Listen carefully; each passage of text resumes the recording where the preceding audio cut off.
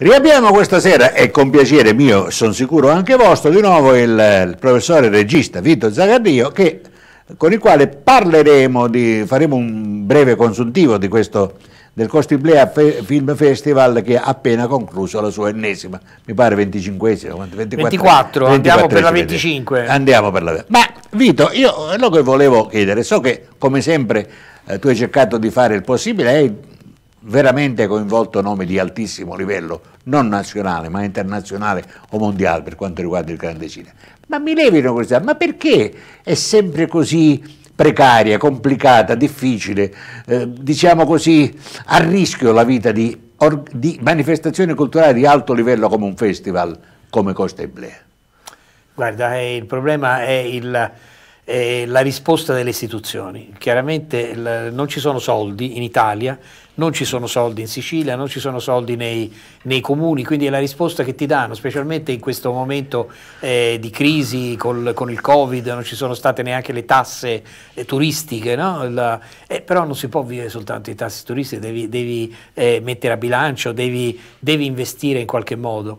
E quindi questa è la, però è stata la storia del, del Costiblea che è iniziata con, con, un piccolo finanziamento alla Proloco di Scicli, ma eh, dietro la Proloco di Scicli c'era un grande amico scomparso che, che, è Carmelo Rocca, che era direttore generale del cinema a, a Roma e, e, amava Donna Lucata e Cavadaliga e Scicli, e altrimenti poi abbiamo dovuto ricorrere a, a, a, a parte il, il, momento di Comiso, c'è stato un momento di Comiso in cui il sindaco di Comiso ha creduto nel festival e ha investito eh, parecchi, pare, beh, gli anni la, la, dalla, eh, è nato nel, nel, 91, quindi negli anni, metà degli anni 90, eh.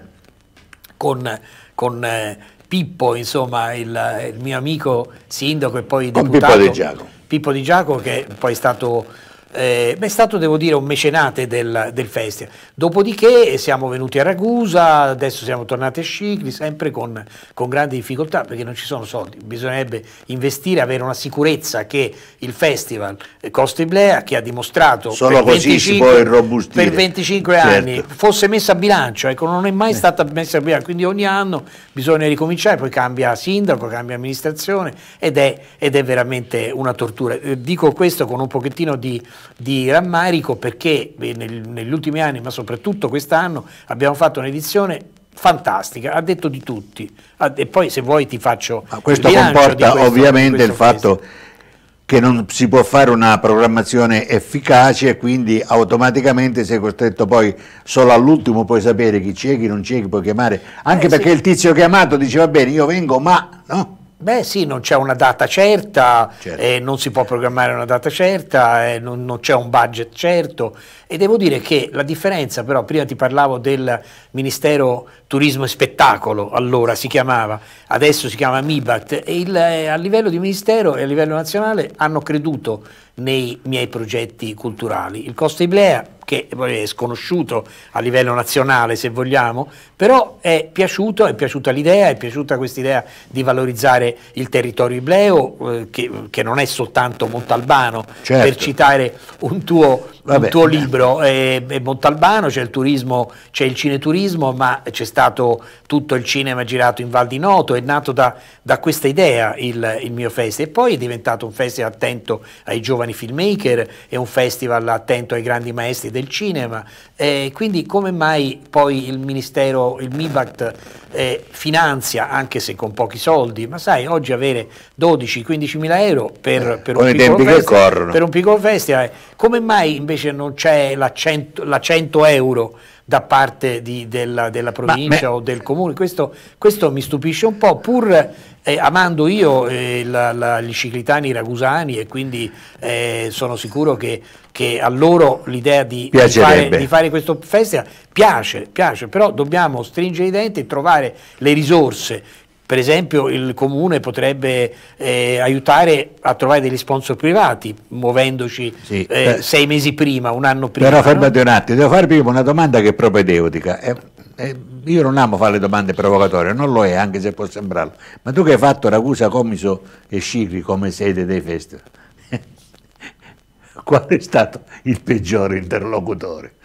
No, adesso non voglio parlare, allora, diciamo, non, voglio, non voglio parlare di peggiore, ecco. dico gli anni di Comiso sono stati anni, anni ricchi perché c'è stato un investimento, c'era anche un gruppo, c'era il gruppo Groucho Marx, eh, c'era Salvatore Schembra, c'era un gruppo di cinefili che amavano, che amavano Ma io sono sicuro cosa. che c'è io, altrettanto grande anche a Ragusa, altrettanto valido. Sì, ma Scicli per esempio c'è, Peppe Pullisi che ha fatto, che io ringrazio, che mi ha aiutato e che è uno dei fondatori del Cineclub di Scicli, quindi potenzialmente ci, ci, dovrebbe essere, però manca allora una professionalità. Ci vorrebbero eh una o più amministrazioni illuminate, perché niente esclude che ci si possa mettere insieme, ah, anzi, sarebbe, anzi, sarebbe, la cosa migliore. Sarebbe il mio sogno che ci fosse, come è avvenuto un anno per il Costa Iblea, peraltro che abbiamo fatto con, Ragusa, con, Chiaramonte. Ragusa, Donna Fugata, Chiaramonte, sì, esatto. Chiaramonte molto bello ma, quell'anno. Ma prima abbiamo fatto Acate addirittura. È stato l'anno con Herbert Ballerina, con esatto. i bravi ragazzi, eccetera, eccetera, me lo ricordo, come no? E quindi sarebbe bella una sinergia delle mie due città, Ragusa, la città di mamma,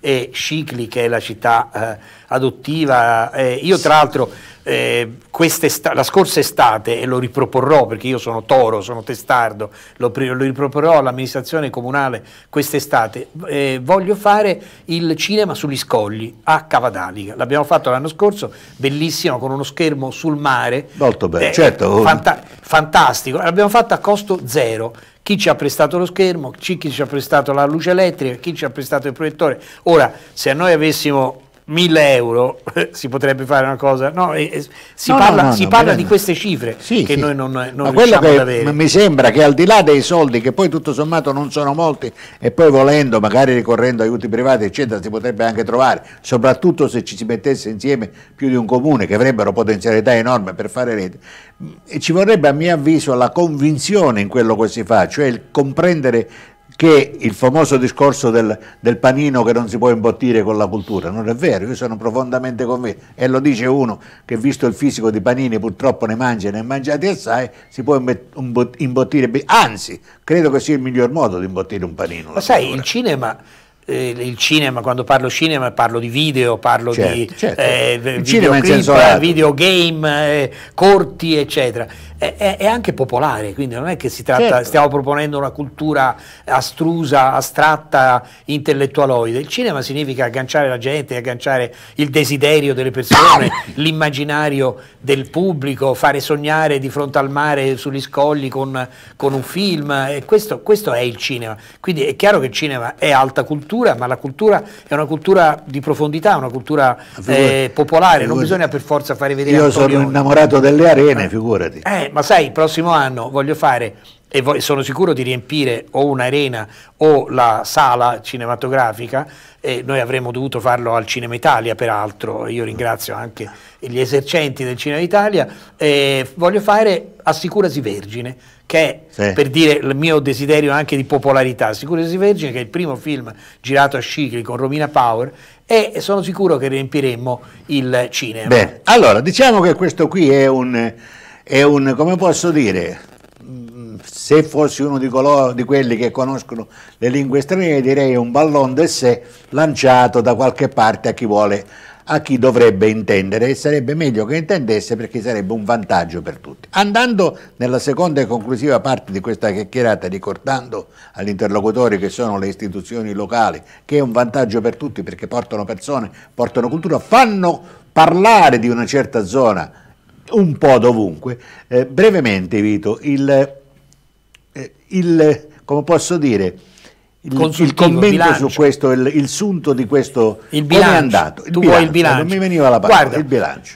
Allora, il, eh, noi abbiamo dovuto farlo online, eh, l'abbiamo fatto su piattaforma My Movies come adesso che non ci possiamo guardare negli occhi io e te, ma il eh, devo dire che è andato molto bene perché facendo, facendolo online hai raggiunto intanto un pubblico che non avremmo raggiunto al Cinema certo. Italia di Scicli e poi hai, hai, potuto avere ospiti che non sarebbero venuti a Scicli per ragioni di età o di opportunità. Faccio qualche esempio, Paolo Taviani, c'è una bellissima intervista che è stata per tutta la settimana a Paolo Taviani, eh, eh i fratelli Taviani, sapete certo, però Vittorio, Vittorio è morto da poco. Eh, e quindi Taviani e la Sicilia, una bellissima intervista. Poi abbiamo avuto Roberto Perpignani, montatore di tutti i film di Taviani e di Bertolucci, tanto per fare, e di Orson Welles, tanto anche lì intervista, siamo andati a casa sua, l'abbiamo messo online per i suoi 80 anni, perché fa 80 anni proprio fra fra pochi giorni. E poi Monio Vadia, scusate se poco, un grande,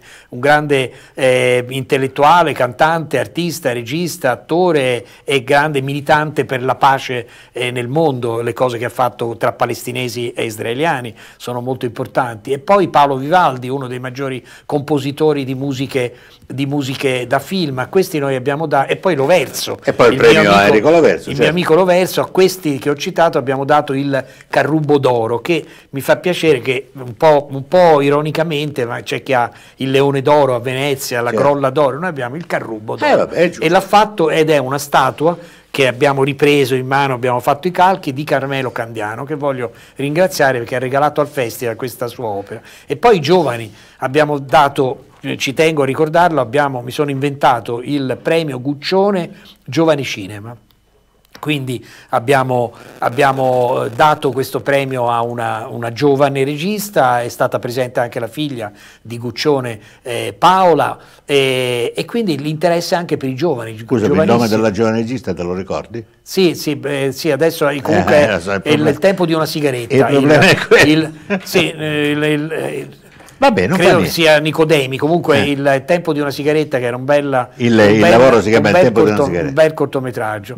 E, è stata, tra l'altro c'è stata una giuria locale di di eh, cinefili critici locali, Traina, Puglisi, eh, Di Martino, Volpino, sono tutti operanti nel territorio, quindi vedete c'è un potenziale enorme di gente che ama il cinema e che è interessato al, al cinema. E poi voglio ricordare, tanto per finire, la, la, tutta la sezione sulla, su cinema e pittura, eh, due documentari su Polizzi, uno sul Ragusano Chessari eh, e altre cose che, che eh, dicono del mio interesse anche per le, dire, per le contaminazioni delle arti, per le sinergie delle arti. Quello che state mandando in onda adesso invece è un quadro di Fernanda eh, Paternò, eh, che è una, una, brava pittrice, oltre che intellettuale multitasking di Catania, che però a okay. casa a San Pieri.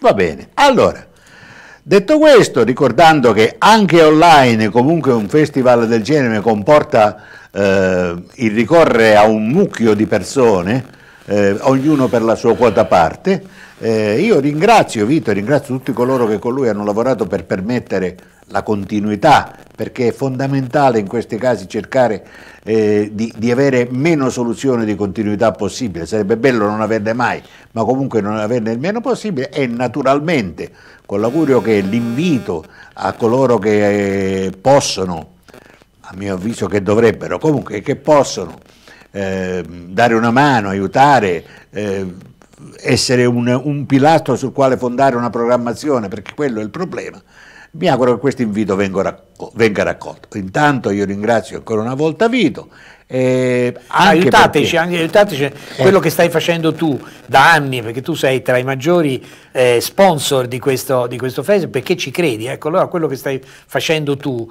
lo dovrebbero fare eh, anche vabbè. gli altri. Noi, io so che abbiamo offerto un piatto meraviglioso, ecco, questo, questo piatto meraviglioso va sviluppato e non, e non, come dire, fatto, fatto finire. Com resta la mia passione, resta la tua passione per il nostro territorio e per la voglia di fare attraverso il cinema cinema, amore per queste, queste per zone questo, che noi amiamo terra. tanto. Allora, non è tanto solo mia, anzi è, è Teleplea proprio in generale, ma quello che è fondamentale è che eh, c'è sicuramente da parte de, di una de, dell'anima, e poi ricordiamoci anche Pasquale Sprato sotto il profilo di, oggi diremo produttore esecutivo, ecco, esatto. eccetera, eccetera, perché è un modo di ricordare questa terra e questa terra proprio col cinema, con la televisione e con tutto quello che è la cultura ha molto, dico molto, ha avuto molto da dire e secondo me può averne ancora molto altro quando si, soprattutto si decideranno di mettere da parte alcuni provincialismi, alcune, alcune cose, e si, ci si